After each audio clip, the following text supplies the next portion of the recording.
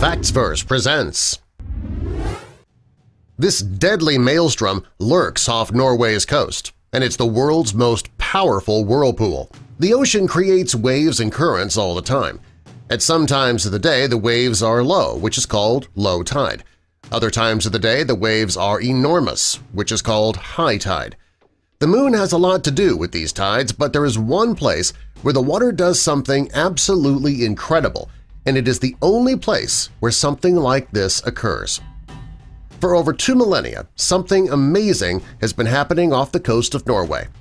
Four times a day, every day, a set of vortexes open up in the waters of Nordland. It is the most powerful occurrence of its kind. About six miles from Nordland is a region called Bodø.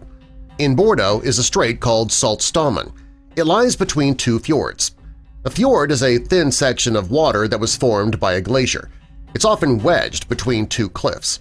The fjords in this area are the Saltfjorden and Skjerstad. The Saltstraumen Strait is not significant. It's about 2 miles in length, 490 feet wide. What makes it so amazing, though, is not the size. It's the fact that every six hours, about 110 billion gallons of water surge through it. This area creates one of the most powerful currents anywhere on Earth. When the water flows in this area, it runs at speeds of about 23 miles per hour. When the water is flowing at its fastest, it can create swirling tunnels in the water. This deadly maelstrom lurks off of Norway's coast and it is the world's most powerful whirlpool. A maelstrom is a type of whirlpool that materializes in the water. Imagine water going down a drain, and when it does, the water circles the bottom of the sink first – well, that's what a maelstrom is, and it's just a lot more powerful, and they occur in the ocean. Edgar Allan Poe used the term in one of his stories, A Descent into the Maelstrom.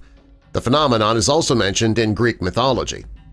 Whirlpools in the ocean like these have captured the imagination of storytellers for years. They are great sources of destruction in stories. However, they don't pose much of a threat unless you are swimming or sailing in a small craft nearby. The whirlpools off the coast aren't the only ones that exist either. The French Pass is located between two main islands in New Zealand.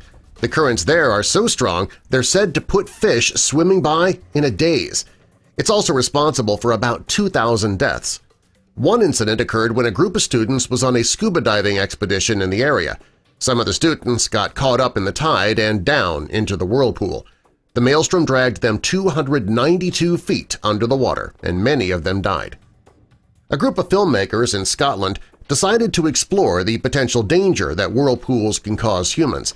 They focused on the Corryvreckan Whirlpool, which is one of the biggest whirlpools on Earth. It's believed that the roar of this whirlpool can be heard up to 10 miles away. Since it would be way too dangerous for a human to go into the whirlpool to study it, the filmmakers sent in a dummy wearing a life jacket and a depth-measuring device into the water. It was quickly sucked into the vortex. Later, the dummy showed up on shore. The life jacket was powerless against the whirlpool, and the device the dummy was wearing said it was pulled 860 feet underwater. There's another massive vortex called Old Sow. It got its name because the sound that it makes when it opens up sounds like a pig. It's located between Canada's Deer Island and Moose Island in Maine. The currents there reach up to 18 miles per hour. The Saltstraumen is one of the most powerful of all vortexes on Earth. The strength of the vortex depends on the phase of the moon. The vortex is the most powerful and dangerous during a full moon. If you want to view the vortex while it's in action, it can be pretty difficult to time it correctly. While it's at its strongest during a full moon, the time of day that it occurs fluctuates, and it does happen four times a day, but the time is not regular. If you want to get a look at this powerful vortex, you can't do so safely from the water. The best place to see it would be from the edge of nearby land. You can only view the vortex from above, and fortunately you won't need a plane to see it. The Saltstraumen Bridge is located right above the maelstrom, making it the perfect place to view this natural phenomenon. If you want to get a bit closer, some companies offer boat tours that allow you a sea-level perspective of the vortex. But you couldn't pay me enough to do that. Subscribe for more.